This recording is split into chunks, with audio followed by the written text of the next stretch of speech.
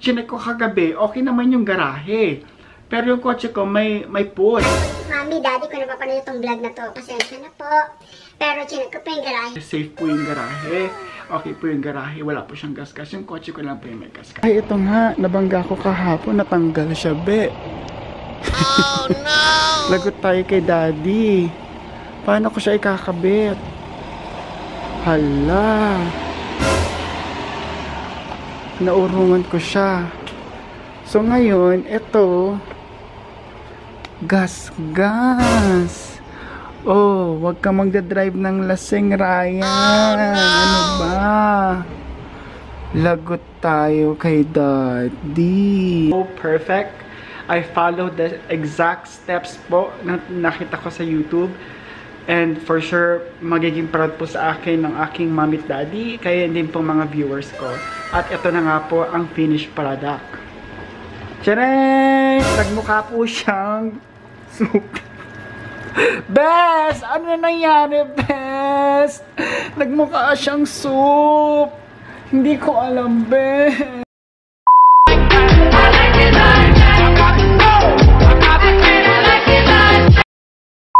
Hello everyone, welcome back to my channel. It's me again, Kuya Ryan, also known as Kuya Giga sa Facebook. If you're new to my channel, please do not forget to Subscribe! Anyway, for today's video guys, it's another vlog. Ang tagal kong di nakapag-vlog na yan naman, bes. So, pasensya na po sa mga naghihintay ng mga vlogs ko. Kung may naghihintay man, ano, kasi ang pagkakaalam ko, walang naghihintay.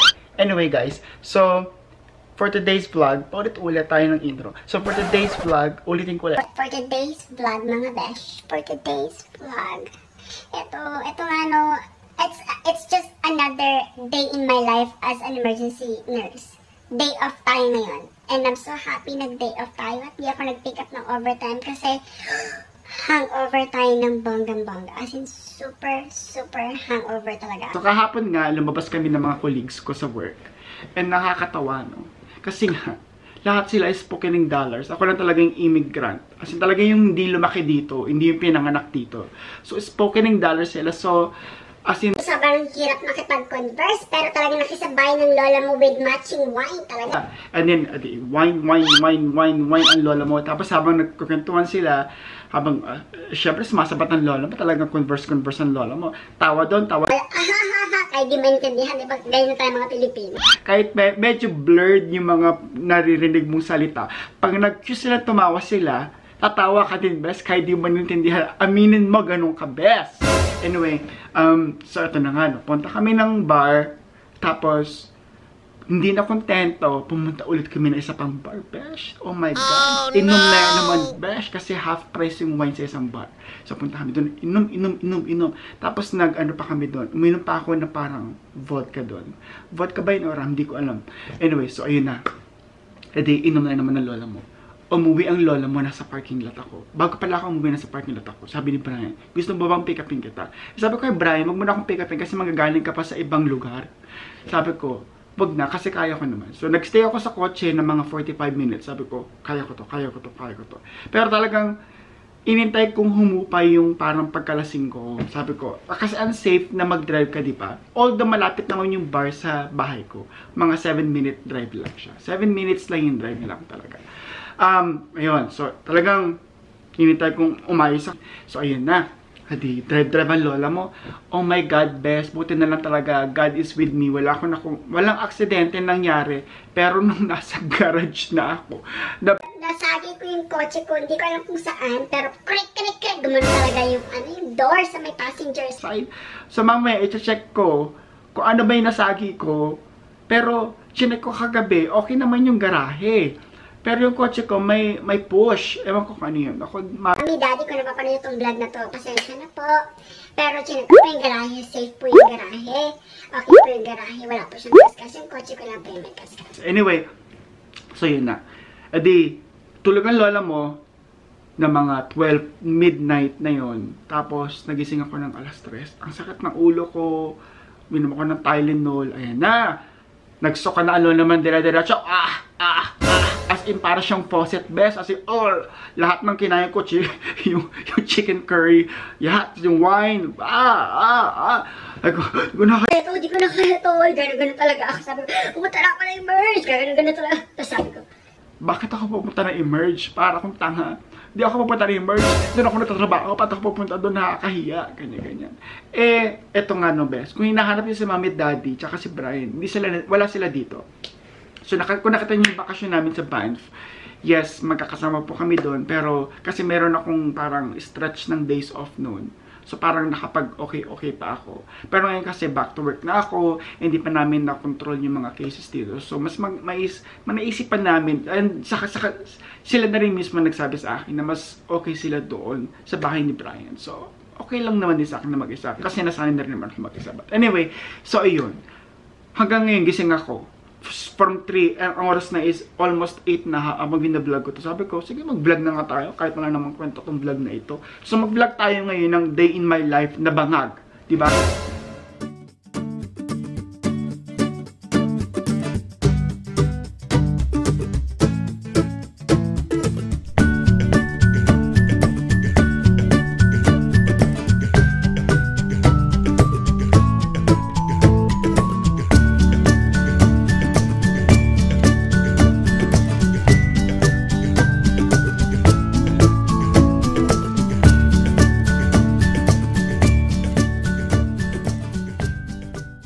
So, binuksan ko lang tong bintana. May screen naman dito. Hindi ko, di ko lang kung nakikita nyo yung screen, pero may screen dyan. Ito, glass na to. So, ganyan na itsura ng weather sa labas. Itong karatbahay namin, tinatapos na nila yung kanilang um, garahe. Update ko kayo sa garahe nila. Chos! Pati, pati garahe ng kapitbahay update. Update ko rin kayo sa kanila, sa kanyang uh, kamatis. Chos! Charot lang. Anyway, guys, um, ayan po ang aming garahe, very plain, very simple.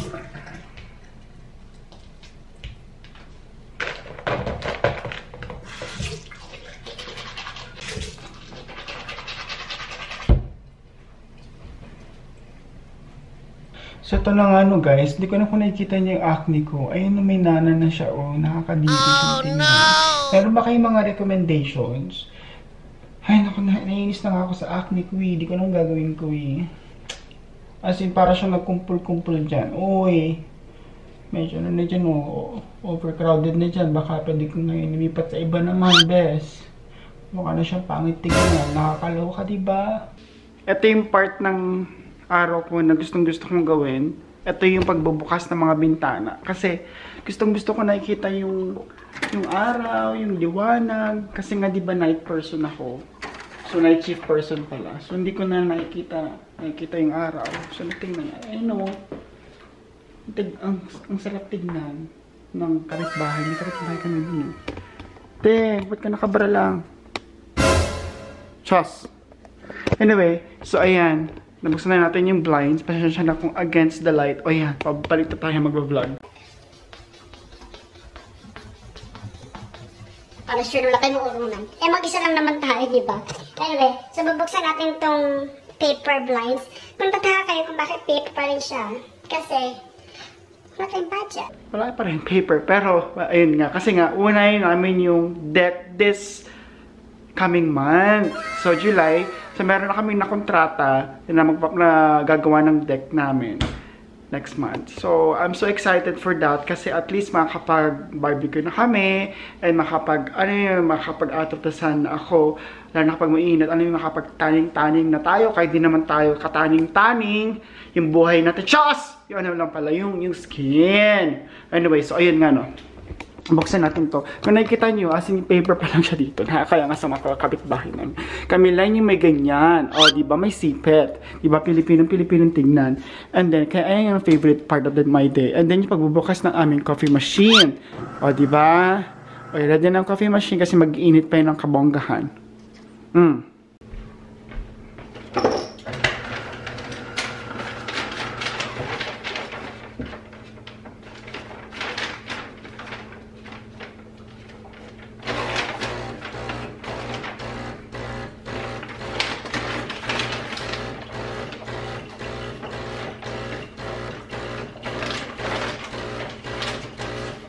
Tapos ako sa umaga nilalagay ko lang itong mga pinagugasan ko sa mga dapat siyang kalagyan. Ito dito. Ayan. Medyo OCD ang lola mo. Lagyan natin dyan yan. Yan. So, dito yung mga maliliit na spoon. Teaspoon. Maliliit na spoon. Ayan. ba OCD ang lola mo talaga. And then, dito, lagyan lang natin sa bucket. Sa bucket. Meron pa akong tinapay. At bigay sa akin ng best friend kong si Maria. Hindi ko alam kung paano ko siya uubusin talaga. And then, ilagay natin siya sa ref bago siya mapanis. At bigay din ni Brian. Speaking of panis, di ba? Ayaw natin panis yung mga ganitong klaseng cubs. Bread! Mamahalin yan, besh. Ko na kung tawag dyan. And then ito, ayan, lagay natin yan sa mga dapat kalagyan. Magliligpit lang tayo. Ito yung laman ng freezer. Alam nyo guys, so sobrang dami ng mga meat dito. Hindi ko alam kung ano yung kukunin. Pero yung pinakamadali, meron dito, ito, ribs, chicken yata to, and then chicken din yan. Um, ano to, mga ground beef. May shrimp pa nga din, oh. Hindi ko alam paano anong luto gagawin ko dyan, di ba? Pork. Ito na lang siguro pork. Tapos meron pang munggo doon. Galing kay Maria. Tapos curry sauce. Tapos brownies. So ito na lang siguro. Ito to ko to. To. The toe and toes. So binili ko to sus years ago pa. Ito natin to dito. Nang may kabonggahan. And sige, ito natin siya dyan. Ilock natin to ng bongga. Then sana sealed. Sealed pa yan eh. Mm, ayan. Mm, mm. And then, mmm, bongga. Para magtuto ka daw, dapat malamig yung tubig. Kasi kapag mainit, maluluto na siya dyan. Chos! Tama ba? Mali-mali yata sinasabi ko eh. Oh, mmm, pwede siya pang sprinkle. Pwede siya nahabaan brush. Pang mayaman. Pag, na, pag nababore ka, pwede ganyan, oh. Ah, ah, ah, chos. Rated SPG. Tatlong na maga, na magulang ay ang kailangan. Hala, ang fresh ng hangin sa labas. Pero marami pa rin mosquito kasi gusto kong bumili ng parang katol. Kasi parang hindi siya safe. Actually, may katol talaga dito sa Canada. Pero bibiling ko yung parang Duracell na nilalagyan ng battery. Pero check ko kung effective ba siya o hindi. Kasi chinecheck ko sa mga reviews online kung effective ba siya o hindi. Kasi ayoko namang ma-waste yung pera pagbili. So check natin yung kotse kung okay ba siya. Kasi nga naman, tatanga-tanga tayo kahapon. Nag-drive tayo ng lasing. Pero guys, huwag niyong gagayahin yun. Kasi that's a big no-no. O diba? Check natin siya, besh. Medyo madilim siya. Buksan natin itong garahe. Ah, para may ilaw. Ay, okay naman siya. Ito ba yung nabangga ko kahapon? Hindi, ito kasi ano to eh. Ay, ito nga, nabangga ko kahapon, natanggal siya, be. Lagot tayo kay daddy. Paano ko siya ikakabit? Hala. Naurungan ko siya. So ngayon, ito, gas, gas. Oh, wag ka magdadrive ng lasing, Ryan. Ano ba?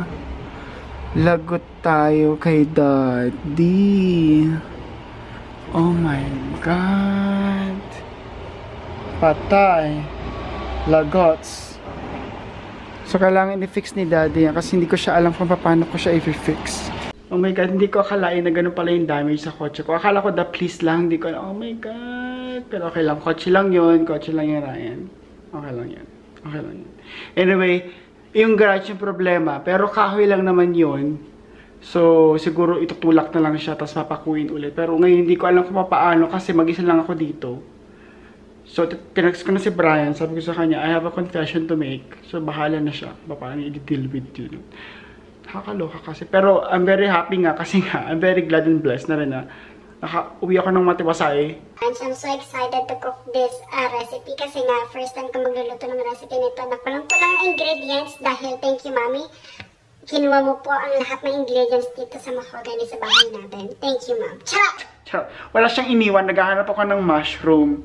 Naghahanap ako ng mushroom in can. Wala. Um, wala, wala ng cornstarch kasi may ni-research, ni-research ako sa, ni-research, may sinearch ako sa YouTube na parang um, pork chop na may parang thick na gravy, na parang mushroom sauce. Ang gusto, ayun sana yung gusto kong gawin. Eh kasi, wala. Wala tayong ingredients. So, mom, I know kung nanonood ka ngayon, mom and dad, I know you, you're gonna be, be proud of me kasi I'm, I'm pretty sure kalalabasin nito is napakasarap. So, let's go on.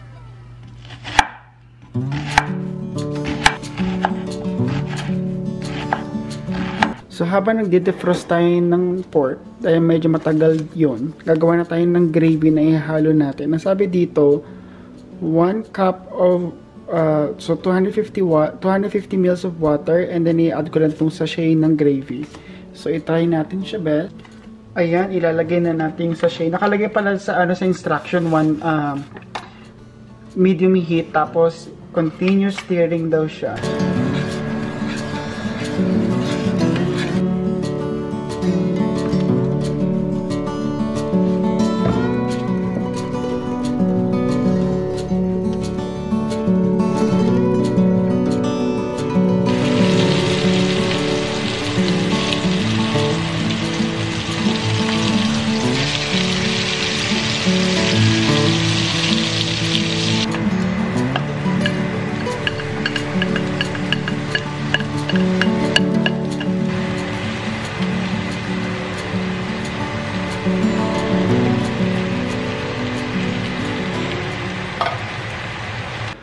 So guys, mahanda na ba kayo makita ang finished product ng aking niluluto? For sure, takam na takam na kayo dahil sa montage na pinakita ko, it's so perfect. I followed the exact steps po na nakita ko sa YouTube. And for sure, magiging proud po sa akin ng aking at daddy. Kaya din po mga viewers ko. At ito na nga po ang finished product. Tcharing! Nagmukha po siyang soup. Bes! Ano na nangyari, Bes? Nagmukha siyang soup. Hindi ko alam, Bes. Ano nangyari? Oh.